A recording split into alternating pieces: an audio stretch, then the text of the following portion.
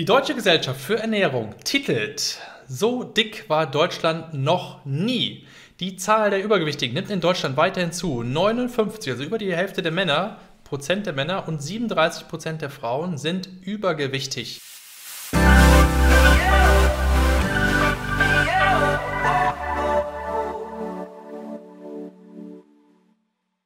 Herzlich willkommen zur Gesundheit mit Florian Sauer und Andreas Paffra, deinem Podcast für ein gesünderes, vitaleres und glücklicheres Leben. Folge 11. Florian, worum geht's heute? Ja, heute geht es um das prägnante Thema, es gibt keine dicken Menschen. Okay, Florian, ich wusste es ja vorher schon und deshalb habe ich ein bisschen was vorbereitet. Jetzt äh, pass mal auf. Die Deutsche Gesellschaft für Ernährung titelt so dick war Deutschland noch nie.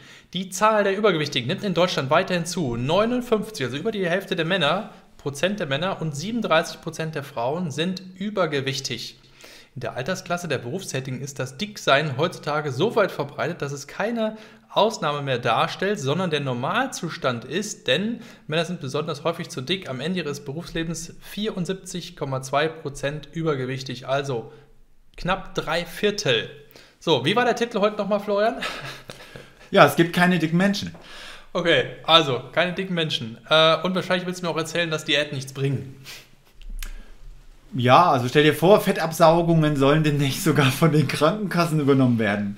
Ihr werdet euch umgucken. Ab 2020 sind die Kassen wahrscheinlich schon dafür mit den Ohren offen und unterstützen das. Das heißt, auf der einen Seite sorgt man dafür, dass die Menschen immer dicker werden und äh, die Belastungen natürlich auch auffallen. Das sieht man da draußen. Aber auf der anderen Seite kommen sie dann auch wieder und sagen, ach, wir helfen dir ein bisschen, deine Belastungen abzunehmen, dass keiner drauf kommt, wo die Ursache ist.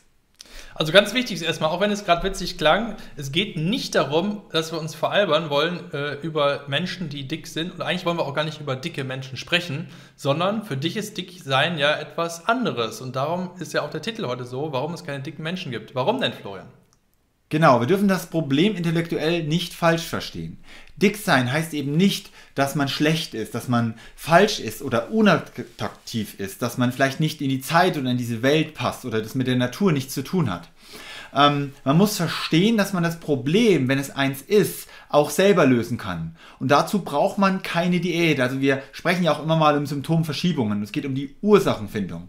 Und wenn jemand sich zu dick fühlt oder auch wirklich klassisch zu dick ist, dann will er ja signifikant etwas verstecken. Deswegen füllt er sich ja auch im Äußeren. Nur keiner redet darum, was das im Äußeren wirklich ist, aus was das besteht und wie das zustande kommt. Also, dass es vielleicht Säuren sind, die verdünnt werden. Und da ähm, bespreche ich ja immer von dem Mülleimerprinzip.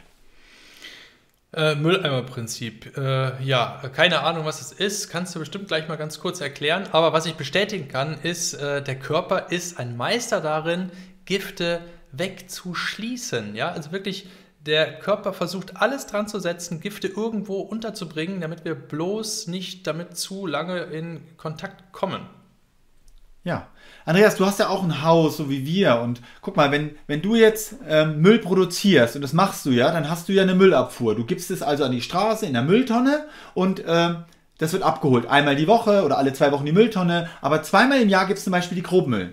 Mhm. Und jetzt stell dir mal vor, durch irgendwelche Ursachen, die wir dann vielleicht noch erklären werden, kommt die Situation, dass die Müllabfuhr den Müll nicht abholt. Was machst du? Äh, was mache ich? Äh, wie meinst du das? Keine ja, Ahnung. wenn du Müll produ du produzierst jeden Tag Müll, säckeweise. Und ja. die Müllabfuhr holt es nicht ab. Was machst du damit? Du hast ja dein schönes Haus, ist ja alles schick. Du hast fünf Kinder, die haben ihre Kinderzimmer. Überall muss ja alles funktionieren in der Küche. Was machst du mit diesem Müll? Ja, irgendwann platzt das allen Nähten und äh, da muss ich äh, dafür Sorge tragen, dass er irgendwie doch mal rauskommt. Keine Ahnung. Und wahrscheinlich willst du jetzt irgendwie nee. auf, die, äh, auf, auf, irgendwelche Sondermaßnahmen hinaus. Nein, das, was jeder macht. Du suchst dir entweder einen Raum, wo du es hinpackst, oder du schaffst ihn an die Grundstücksgrenze, also an die Stellen, die am weitesten weg sind vom Herz. Deswegen kennen wir ja auch Durchblutungsstörungen, wir kennen kalte Hände, kalte Füße. Aber wenn die Gifte oder was auch immer es ist, an die Stellen gebracht werden, die am weitesten weg sind vom Herzen, fallen sie irgendwann auf. Das heißt, an einem Grundstückskranz, wo, wo die Schaukeln stehen und so weiter, entstehen Müllberge, die dann abgedeckt werden. Das heißt, die Auffälligkeit ist da, aber man sieht auch, der Andreas geht mit dem Müll um, also der Körper reagiert, wie wenn er eine Schutzfunktion hat und sagt, naja, es kommen ja auch wieder bessere Zeiten und dann ändert sich das. Ja, genau.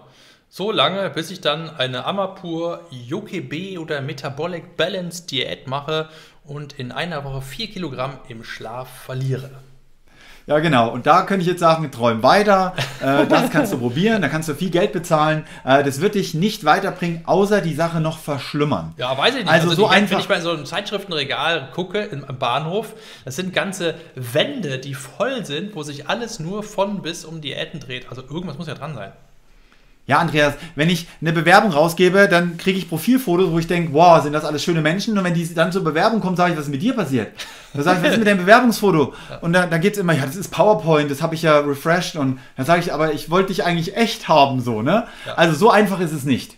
Andreas, im Körper gibt es einfach biochemische Abläufe, physikalische Eigenschaften und das sind wie Naturgesetze.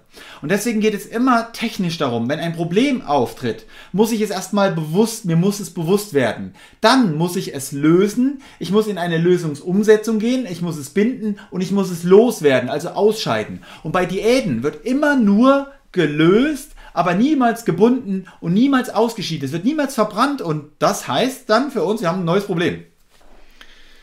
Okay, dann sag uns doch jetzt mal bitte, wie es dazu kommt, dass so auffällig viele Menschen heutzutage dick werden. Ich habe es ja eingangs vorgelesen. Also äh, es sind ja erschreckend viele und es werden ja immer mehr.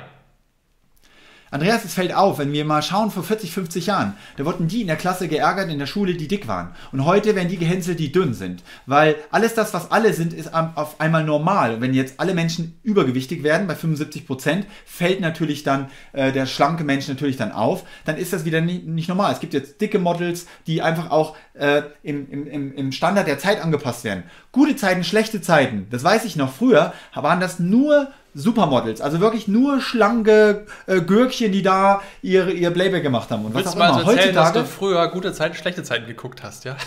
ja, ich habe auch Marienhof geguckt, aber redet man nicht drüber. Sehr schön.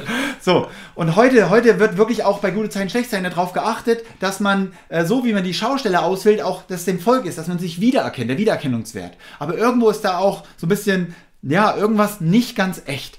Und es gibt ganz klar Ursachen, das kann man überall beweisen, in jedem Labor, dass es einen Grund hat, warum Menschen zu dick werden. Nämlich, es kommt zu eigentlichen Stoffwechselstörungen. Das heißt, immer wenn ein Problem auftritt, reagiert der Körper. Er ist eigentlich perfekt und er hat ganz viele Mechanismen, uns zu schützen.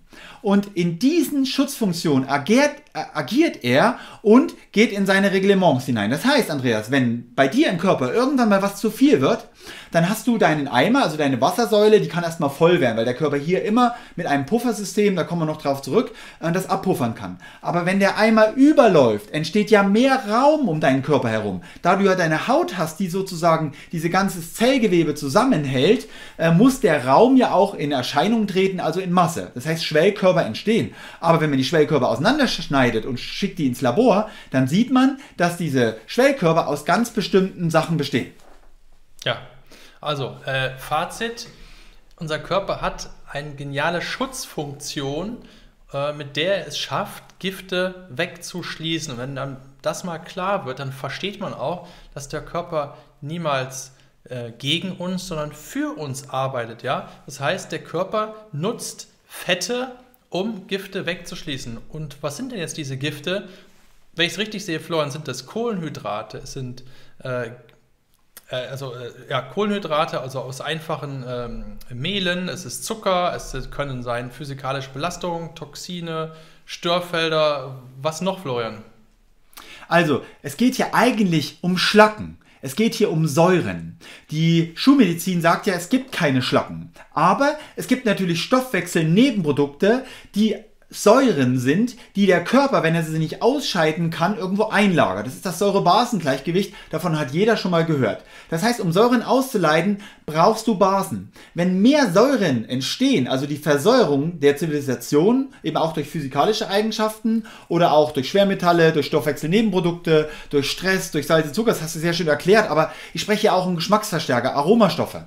Transfettsäuren, Spritzmittel, Narkosemittel, Impfungen, die Menge an Kohlenhydraten, Stärke und Fuselalkohole, die immer wieder in Fetten eben eingelagert werden, auch verdünnt werden in Salzen, mit Wasser eben in der Fläche vergrößert, aber dadurch in der Wirkung unschädlich gemacht, arbeitet der Körper also nicht gegen uns, sondern für uns. Ja, und wenn Nur. ich jetzt äh, das verstehe, dann macht es auch gar keinen Sinn, dass ich jetzt äh, eine Diät mache, weil dann zwinge ich ja in dem Augenblick den Körper dazu, sag mal, diese Fettdepots aufzulösen ein Stück weit.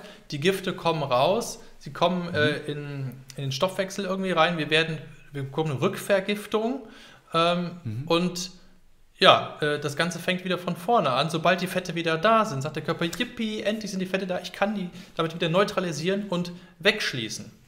Ja, das stimmt. Nur, Andreas, über Jahrzehnte langsam eingelagerte Gifte fallen überhaupt nicht auf. Das heißt, wenn du einen Schweinebraten mit Klöße isst, dann bist du ja danach nicht rückvergiftet oder fällst dann gleich um oder hast am nächsten Tag Fieber.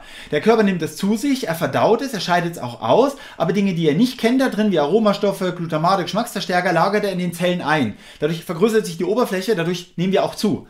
Wenn du aber jetzt eine Diät machst, dann lässt du die Nahrung sozusagen weg Du hast aber keine Energie, die kommt, überschüssige, um diese Säuren wirklich zu binden, zu transportieren und auszuscheiden. Das heißt, es entsteht eine konzentrierte Lösung von Giftstoffen auf einen viel kleineren Raum und sobald du dann wieder isst, kann der Körper die ja nicht über eine lange Zeit wieder einlagern, sondern auf den Stoß innerhalb von 24 Stunden muss er irgendwie damit umgehen. Und das ist eine starke Rückvergiftung, die sich dann nervlich auslöst, Autoimmunstörungen auslöst, starke Rückvergiftungen auslöst, Neurodermitis auslöst oder natürlich Ausscheidungskrankheiten wie Rhinitis, Colitis, Obesitäten. Du hast völlig recht. Der Körper spricht also mit der Verdickung unseres Gewebes, mit den Wassereinlagerungen zu uns und je größer die Belastung für den Körper wird, umso größer wird der Verschleiß, umso größer wird das Leid und umso signifikanter wird auch das Erscheinungsbild der Person. Dass Schwellkörper entstehen, die Lymphe dick werden, die Wassereinlagerung anfangen und das ist das Problem. Der Körper muss mehr tragen, er muss mehr Leistung bringen und der Alterungsprozess geht voran. Hm. Okay, gut.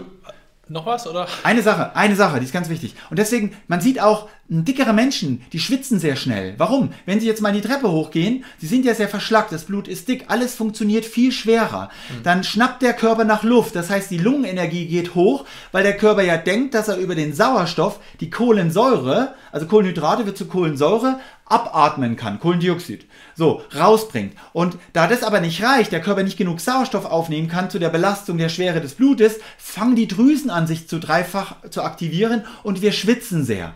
Und dass der Schweiß bei dickeren Menschen auch riecht, ist ein Zeichen dafür, dass da sehr viel Gifte drin sind, also Säuren, also Schlacken. Denn Schweiß stinkt nicht, es sei denn, Giftstoffe sind drin. Ganz wichtig zu merken.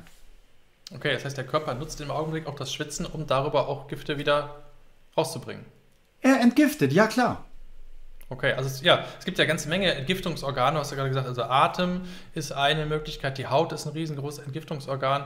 Es der Dickdarm. Ja, der, der, Dickdarm natürlich, die Nieren. Die Blase. Ja, äh, sogar die Augen. Ja, also, die Ohren. Ja, die Ohren. Also ganz, ganz äh, Augen habe ich zum Beispiel nie gewusst. Augen, also wenn man mal äh, ganz viel Käse isst, am nächsten Morgen macht man auf, die Augen sind total verklebt, diese berühmten, berühmten äh, Sandmann-Krümel im Augen darüber schiebt der Körper offensichtlich dann auch wieder Gifte raus. Das ist total spannend. Über die Ohren, genau. über den Ohrenschmalz. Die Bindehaut und auch über die Nase, der sogenannte Brotschnupfen oder die, die Verschleimung, äh, Nasennebenhöhlen, sind alles Verschlackungserkrankungen und keine Erkältung. Der Körper scheidet damit aus.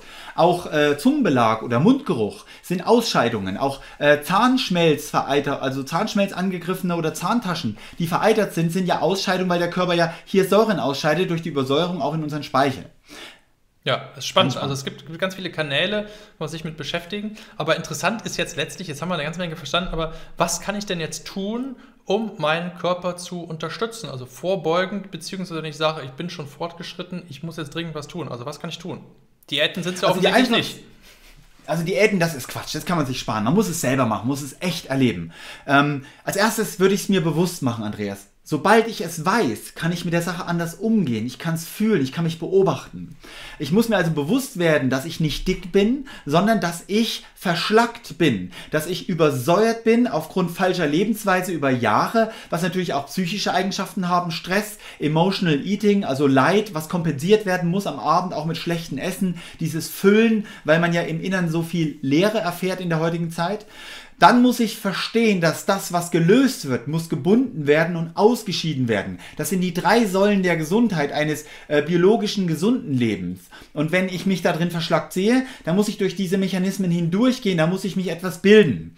Dann ist es wichtig, dass ich einen höheren Energiegewinn bekomme. Das heißt, wenn jetzt das Problem der Verdickung die Säure ist und die Säure mit der Base gebunden werden, dann brauche ich ab jetzt eine Nahrung, die mehr Qualität enthält und ein hohes Nährstoffpotenzial an Vitaminen Mineralien, Antioxidantien, weil nur damit kann der Körper auch entgiften, äh, Säuren binden und auch Ausscheidungsenergie erhöhen. Das ja. habe ich durch eine basische Ernährung. Und das haben wir eben oftmals in der Ernährung nicht mehr, die Nährstoffe. Deshalb muss ich dafür sorgen, damit der Körper eben sozusagen die Werkzeuge hat, um richtig arbeiten zu können.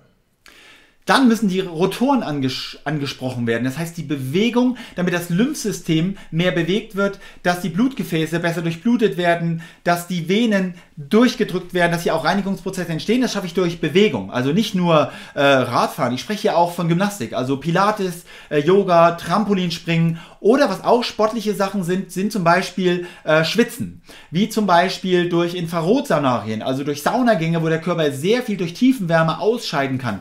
Durch wechselwarmes Duschen, warm-kalt, wo die Zellen ganz weit zusammengedrückt werden.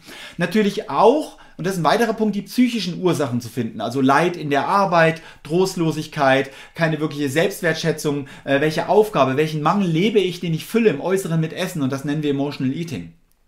Aber das Allerwichtigste, Andreas, ist zu verstehen, dass wenn ich zu dick werde, dass auch mein Blut dick wird, dass meine Arterien sich immer mehr erweitern, dass meine Leber auch immer fetter wird, die Haut, ne, der Körper, das Spiegel des Inneren, innen wie außen, Spiegel- und Schattengesetze, dass die Leber verfettet, dass unsere Zellen verstopfen, die nicht mehr atmen können, unsere Haut verschleimt sozusagen. Und dass ich diese Sachen ja auch in Bewegung bringen muss, weil diese Zellgifte sonst im Körper dafür sorgen, dass wir Zellsterben haben. Das heißt, es kommt zu einem anaeroben Milieu. Ja, und wir werden älter und äh, nicht jünger, sondern auch äußerlich sichtbar und schön. Und da spreche ich. Ich spreche ganz klar hier effektive Entgiftungskuren an. Also keine Diäten, sondern eine Entgiftungskur, in dem du in relativ kurzer Zeit, vielleicht auch ohne Urlaub, etwas machst, was die Sachen komprimiert, löst, bindet und ausscheidet, ohne dich rückzuvergiften. Das heißt, du trainierst einen Vorgang, der alle deine Ausscheidungsorgane öffnet, die Schleime, den Gestank, den Eiter, das alte Blut, den alten Kot, auch Parasiten und was so an Nestern da ist im Körper, ausgeschieden wird, auch die überschüssigen Salze ausgeschieden werden, die Fette, die alten Eiweiße, die verbrannt sind, rauskommen und du dadurch Erleichterung erfährst. Ich würde das Zellrecycling nennen. Und das machen wir ja immer schon mit den Fasten, mit den ganzen Entgiftungskuren bei uns zu Hause und online, Andreas. Genau, dazu gibt es ja am 12. Februar auch wieder ein Live-Webinar von uns wie du in fünf Tagen deine Selbstheilungskräfte aktivierst. Also, falls du das hörst und du Interesse daran hast, dann, äh, ja, dann schau das doch gerne an, melde dich an. Das kannst du, wenn du unterwegs bist, über SMS machen, indem du eine SMS schickst an die deutsche Nummer 01771 789 317 mit dem Stichwort Selbstheilung und Leerzeichen, danach deine E-Mail-Adresse.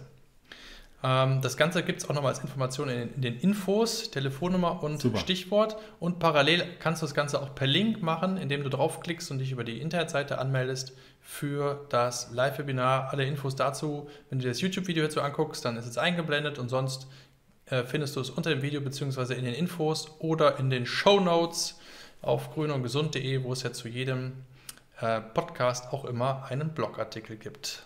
Genau. Hm. Ja, damit ist das Wichtigste gesagt. 12. Februar, wie gesagt, findet das Live-Webinar statt, 2019.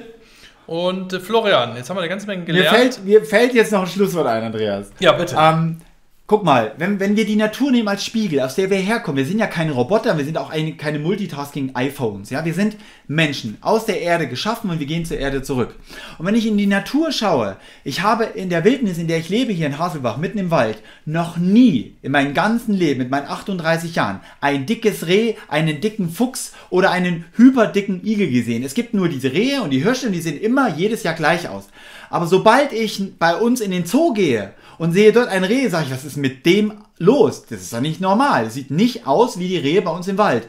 Warum? Denn sobald irgendetwas aus der Natur mit dem Menschen in Verbindung kommt und es dann mit Fastfood in Verbindung kommt, mit denaturierter Nahrung, verarbeiteten Lebensmitteln und da die Energie sich verliert, verliert sich auch die Energie des Körpers richtig zu funktionieren und deswegen ist es auffällig, dass es in der Natur keine dicken Tiere gibt, weil es keine verschlackten Tiere gibt. Und das sollte uns zu denken geben. Ja, noch viele andere Krankheiten gibt es dort nicht. Aber wie du schon sagst, sobald die Tiere in der Obhut der Menschen sind, dann äh, passiert eine ganze Menge. Und da guckt mal an, die Pferdekliniken, die Hundekliniken, äh, was weiß ich, alles sind alle voll mit, mit Krankheiten, die es eigentlich äh, nur bei Menschen gibt. Äh, ja, aber bei den Richtig. Tieren gibt es die immer auch. Naja, gut. Also, wir haben heute gelernt, warum es keine dicken Menschen gibt, sondern eigentlich nur verschlackten. Das war's für heute bei der Gesundheit. Ich sage Dankeschön fürs Zuhören. Dankeschön an dich, Florian. Wir freuen uns, wenn du bei der nächsten Folge wieder mit dabei bist und uns zuhörst. Wir sagen bis dahin, dein Andreas Paffrath. Und dein Florian Sauer. Bis dahin, wir hören uns. Tschüss. Ciao.